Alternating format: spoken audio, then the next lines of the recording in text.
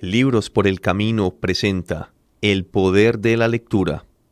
Son demasiados los frutos de la lectura, tanto de manera habitual en papel como en forma digital con libros electrónicos. Una de las habilidades más importantes que puede fomentar una persona es el hábito de la lectura, por cuanto ello significa textualmente dar un paso inmenso hacia el conocimiento, pero sobre todo al éxito.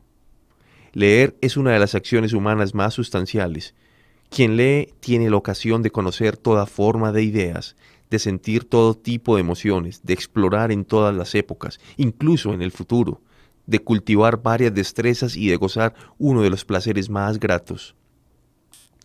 A nivel social, la lectura añade grandes valores y cultura. No obstante, en el mundo, aunque cada vez las personas leen más, es todavía una asignatura pendiente, ya que se desea la televisión y la interacción con celulares como acción primordial.